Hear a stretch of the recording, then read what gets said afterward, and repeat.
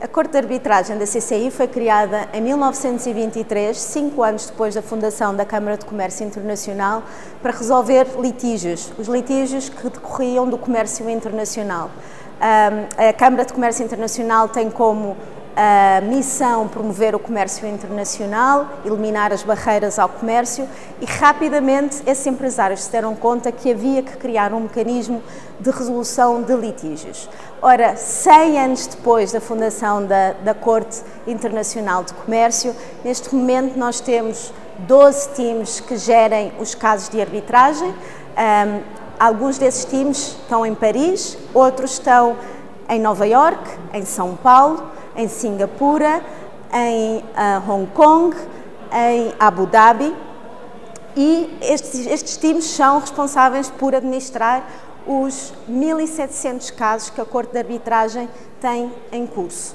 Um, temos também uma corte de arbitragem, composta por 200 especialistas de arbitragem que tomam as decisões de conformidade com o seu regulamento, assessorada por estes times que gerem o dia a dia da gestão do caso.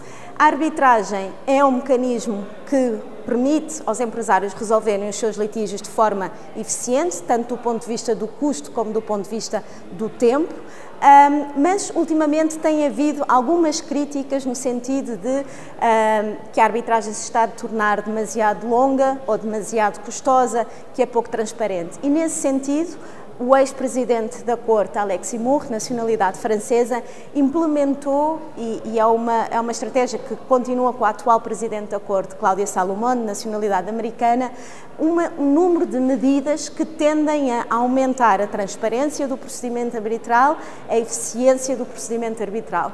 Um, aqui falando um bocadinho destas medidas que estão a ser tomadas, as que vão relativamente à transparência. Transparência no sentido de divulgar, e os senhores encontram essa informação no nosso site, informação sobre os árbitros que estão a atuar em arbitragem CCI. Essa informação está livremente e de forma gratuita disponível hoje em dia a informação sobre o tipo de casos, a indústria dos casos.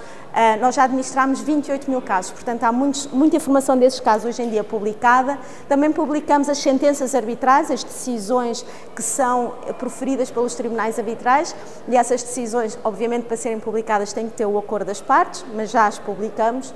Temos também no nossa nota às partes e aos tribunais arbitrais, em arbitragem se tem informação muito detalhada sobre questões de imparcialidade e independência dos árbitros para os auxiliar na sua, no seu dever de revelação tão importante às partes. Relativamente à eficiência, impusemos prazos mais curtos na administração dos casos. Hoje em dia temos um processo acelerado de seis meses para a resolução de litígios, com uma redução de custos de 20%.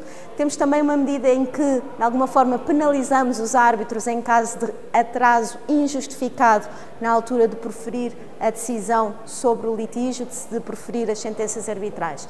E, e, e, é neste, neste espírito de constante evolução, também evolução tecnológica, que é tão importante nos tempos que vivemos. A, Corte já lançou uma plataforma online de gestão de casos e está atualmente a trabalhar numa nova versão dessa mesma plataforma e tem também uma força-tarefa interna para discutir questões de inteligência artificial e ver como é que as mesmas vão impactar a resolução de litígios.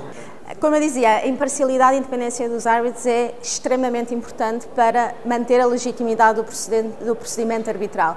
O que é que tem sido feito? Têm sido dadas mais uh, uh, instruções aos árbitros de como acessar, como uh, decidir que informação deve ser revelada às partes no momento de aceitar o caso e depois.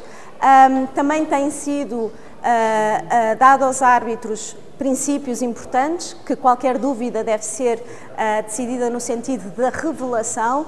Um, importante referir que quando há uma revelação, essa revelação não significa que há um conflito uh, de interesse automático e mesmo quando há uma objeção, uh, obviamente que a Corte vai decidir sobre a base dos fatos que tem à sua frente. essa revelação por si só não significa que a Corte vai aceitar uma objeção ou uma, ou uma impugnação, mas vai analisar esse facto e circunstância e ver se efetivamente a imparcialidade ou a independência do árbitro está comprometida.